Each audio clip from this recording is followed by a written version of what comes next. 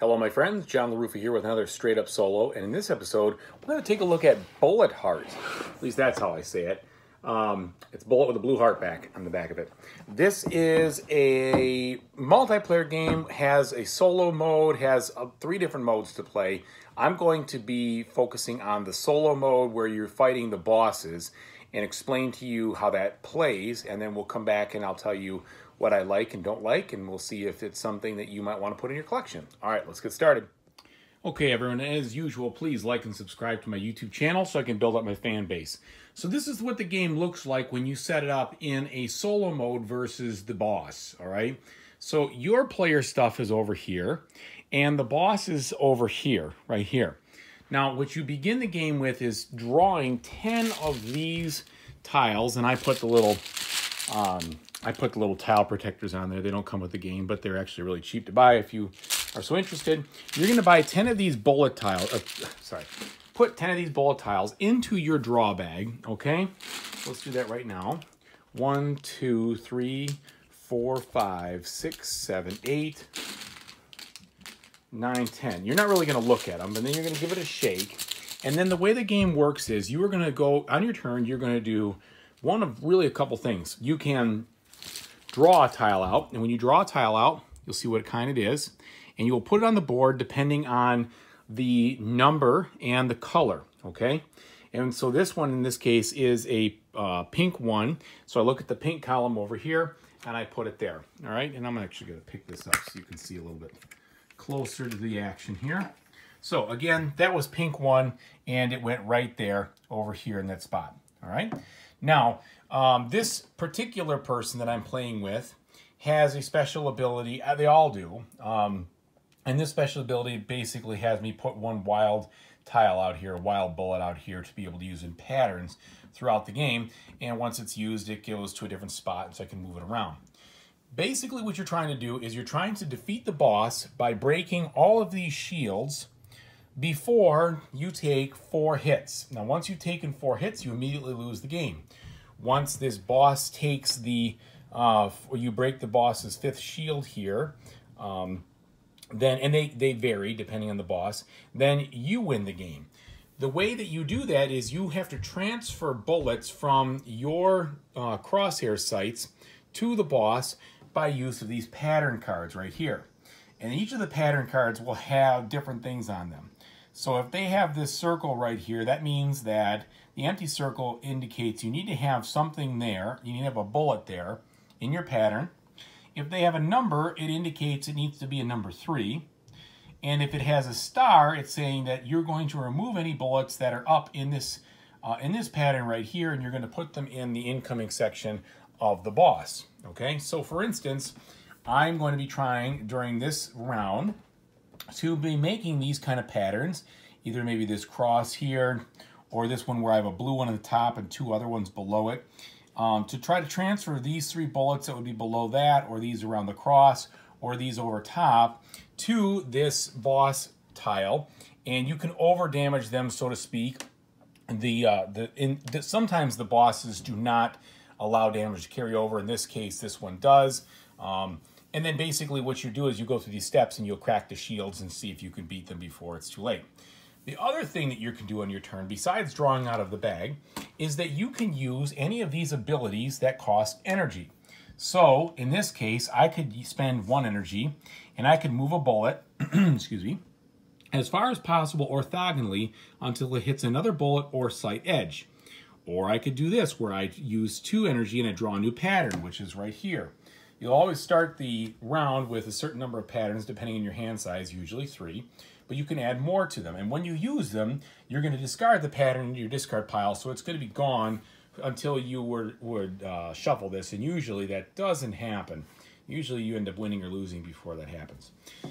But, you know, there can be different strategies, and, and maybe you do shuffle. Um, and here you can move this to an empty space. Here you can clear a bullet orthogonally adjacent to um, um, to Marielle. Now, if you do that, then when you clear a bullet, that goes to the incoming area over here. So that could be kind of helpful. And you've noticed that with those little stars around uh, Marielle. It says clear a bullet. I'm guessing it's not multiple bullets. I'd have to look at the FAQ. What happens though is that if you are filling these up and um, you end up basically bumping out into this spot and going down here, you will automatically take a hit. And if you take four hits, you'll die. So let me show you quickly um, as you now put this back in the stand and I'll show you kind of how that round is going to go. Actually, you know what? I'll just do it like this. So on my turn, I'm going to keep drawing. I started with 10. So now I've drew, uh, drew this 2. So I count 1, 2. I have to place it there. And I don't have a pattern yet, so I'm going to keep drawing. And now I have this 1 star. Now the star, once I clear the stars, I will actually gain back, for every star, you gain back 1 energy, so that can help. And uh, gaining back those energies, or action points as they're called, um, is a good way to trigger more combos and move things around. Okay? So now I have, all right, here's another star. Now notice that the first spot is taken, so I have to go to the first empty spot. Okay, so I'm not really developing quite the pattern that I need to thus far. So I'm still drawing. This is a three, so it's gonna go one, two, three, okay? We'll still draw here. Here's a three, one, two, three. Okay, so now I've got some things going on here um, do I have anything I'd want to turn into a pattern? Well, I can. Let me show you how I'm going to do this. So this isn't necessarily going to be the most effective move, but it's going to demonstrate the gameplay. So I want to do this uh, Papercraft Claymore here. I need to have a three in the middle, something on the left, something on the right, and then three things on top to maximize my effect. So first thing I'm going to do is I'm going to spend a power. Uh, let's see. Let's spend a power here to move this bullet all the way. Let's move her over one. And I'll show you I'm going to do that again. I'm going to spend another one to move her over one again. Spend another one to move her over here. Then I'm going to spend one up here to move this down one. And so now it's setting me up. I'm going to see if I can draw some more green or yellow and maybe get lucky without having to spend any more power. Because I spent a lot of power to kind of configure all of that. All right, so now what do we get? Well, blue three, that's not lucky. One, two, three. All right, let's see if we can get it again. We're running out of stuff here. Four red, that's not behaving. And do I have any more left in my bag? I've got a couple. Come on, three red. One, two, three. Well, that's unfortunate. This isn't going well. All right, and the last one, Blue four, dang. One, two, three, four. So that really didn't go well at all. But I'm just going to make up the difference because at the end of every round, I'm going to refill my energy anyway. So I'm going to do this one here where I want to move this down. So I'll spend that. It'll slide over. And then I'll spend this one. It'll slide over. So now I have spent almost all my energy, but I've made my pattern. And again, I had to have a three in the middle, two things on the outside, and I can transfer three bullets. So I'm going to execute that pattern. I'm going to discard it. Then I'm going to take these three that were stars and put them in the incoming. Those will count as hits when I try to break the shield. Notice, though, these did not go anywhere. So I only discarded the stars, okay? Now I'm out of bullets, and if I wanted to, um, I could, let's see if I actually transferred. Okay, so I did get a star over here, so I'm gonna get one energy back. And with that extra energy, do I have anything in two energy in these patterns that could help me? It does not look like I do. So, because I can't really match any patterns or get anything else going, I'm pretty much going to end up stopping. Yeah, that's what I'm going to do. Okay, so um, let's see. So that's going to be the end of my turn. So since I'm done, now I go through the steps of the boss. So the boss, first things first, is we see um, what, let me see. So I'm going to pull out this little handy dandy uh, sheet here. Let me just get that out so you can kind of see how the steps go. Just one second. All right, so we've already done the action phase. We've placed bullets, we've used actions, we've used patterns, and we use the power-ups. The power-ups don't really come into play. Um, those, see, these are actually called the actions, whereas the power-ups are special things that actually you don't see in a solo game versus the boss. They're kind of things that are similar to this, um, and that's what these little empty spaces do. So end phase, we uh, so in the following order, we take a power up, but we don't because I just said we don't use those in solo play. We drop to the hand size, and then we put um, intensity bullets from the center into the current. Now, The intensity bullet center and current thing, that's all multiplayer. So that doesn't happen. But we do drop to our hand size. We are going to do that. Now we go to the uh, cleanup phase. And it says in the following order, you got to put up new power-ups if we need to. But we said we aren't doing that. There is no intensity because that has to do with the multiplayer. Um, basically, the only thing we do here in this phase is set this AP back to max. Okay, now we go to the boss round, and this is the important part for our solo game here. So the boss activates its patterns.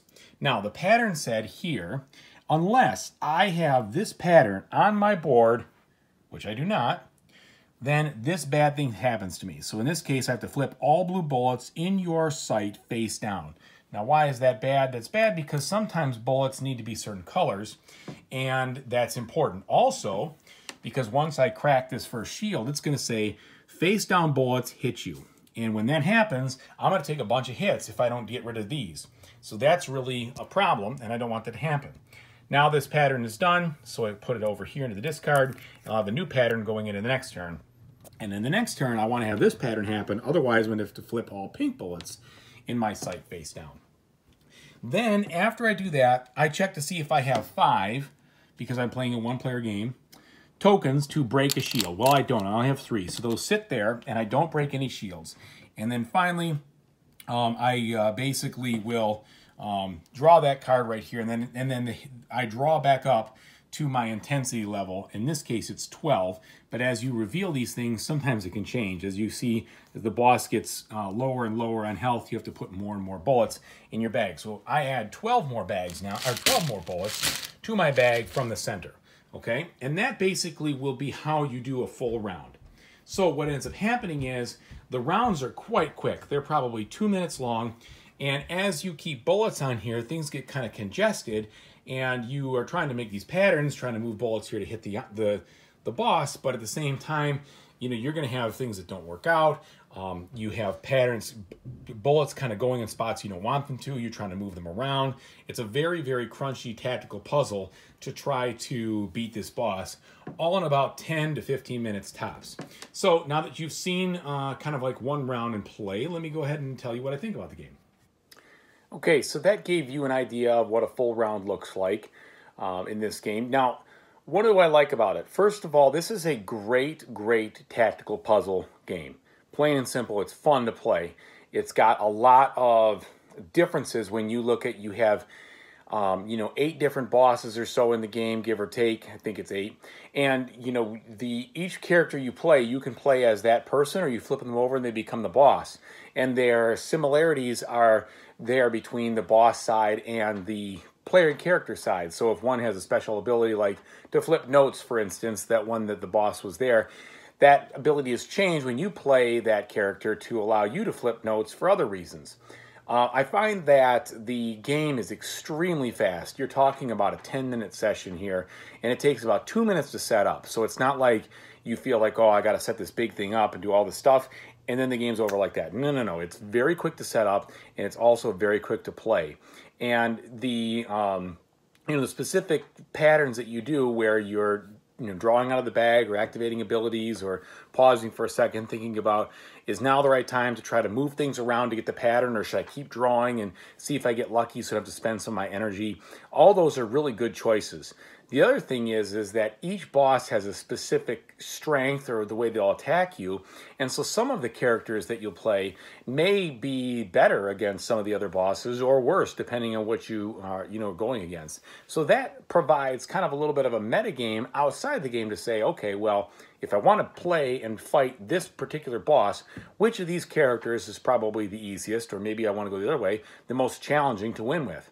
So there's a lot of different combinations you can put together, which I think breathes a ton of life into what is, in a lot of ways, a pretty simple game. Now, when you play it multiplayer, which I haven't, they've got all these other different modes where you're basically fighting and transferring bullets to other players in a kind of survival game, but you can also play co-op against the bosses just like this. Although I find that I, I don't feel like I'm missing anything just by playing against the boss and uh, trying to defeat them. So I, I think that that's really, really very well done. They could have just done the game in a multiplayer session and not made a way to have the boss strike back, and that would have been a, a terribly disappointed because this is a fantastic solo game, in my opinion. Now, the other thing about it is, is that rules wise, when you're reading through the rules, it can seem like there's there's a little more complexity than there actually is. They do a good job explaining the different game modes, and if anything, it's just that because it's all together in one thing, sometimes these phases don't apply to those phases.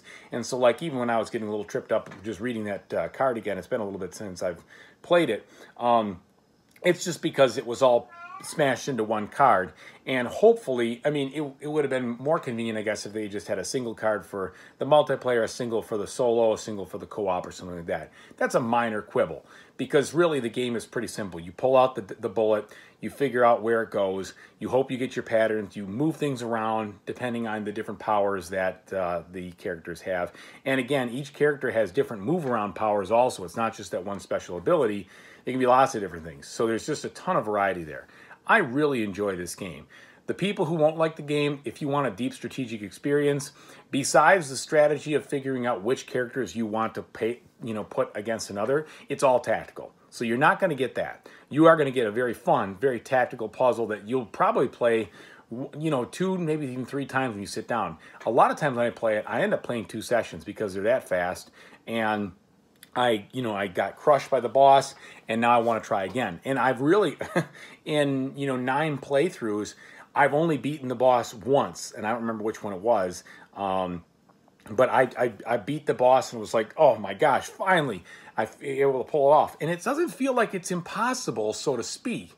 It always feels like it's within grasp, but sometimes things just don't go well or you push the envelope too much or you don't do, you know, you don't take enough risks um, in other sides, and you just get uh, get trounced. And I've had some pretty close games too. So there's a lot of variety here. I uh, think it's worth your time to look at this if you like small tactical puzzles that you can set up quickly and are, you know, win or lose. There's no scoring. You either win or you lose. So you're not going to have to worry about a score here um, from a beat your own score perspective. So people who, you know, don't want that, you're not going to get that. It's either you do or you don't. Um, so I like it. I like it a lot. I think it's worth checking out. Um, and I was extremely surprised to see that I appreciated it and enjoyed it so much because I like heavy games, right? I mean, you look at behind me, you can probably spot a lot of heavy games. And this one isn't particularly heavy, but it is a lot of fun. And it's a great brain burner of a puzzle trying to kind of figure out how I can take apart that boss's strategy and, uh, you know, block their patterns, or I guess mimic their patterns so I don't have the bad stuff happen, but at the same time pull off my patterns so I can transfer bullets. So hopefully this was informative to you. And uh, again, thank you very much for watching. Hope whatever you play in the future, you really enjoy it. Take it easy, everybody.